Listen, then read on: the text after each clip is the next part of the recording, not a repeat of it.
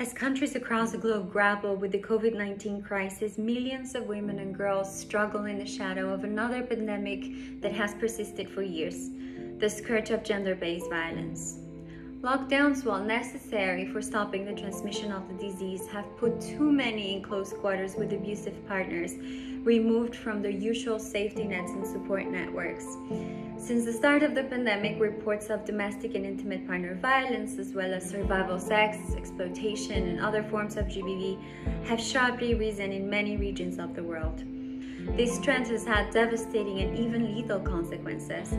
Threats to the safety, dignity, and well being of crisis affected persons are even more drastic for refugees and migrants, particularly for women, girls, and those who identify as LGBTI. This reality, coupled with faced increased restrictions on their movement, stigmatization, and evictions from their homes, means that many have little choice but to seek shelter in unsafe and congested places. These factors all greatly increase the risk of GBV, and at the same time, policies to put a stop to the virus have resulted in a decrease of access to psychosocial, legal, health, and other life saving GBV services for survivors.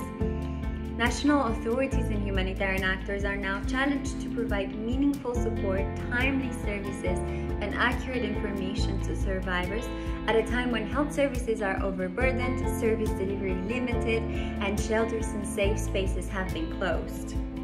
Hand in hand with authorities and partners, IOM and UNFPA as the technical leads for GBV within the R4V response and interagency response that brings together 151 partner organizations working together to assist refugees and migrants from Venezuela, we're finding new ways to meet the needs of survivors in a time of physical distancing. It's now more important than ever that women and girls can continue to access the services that keep them safe, healthy, and out of harm's way.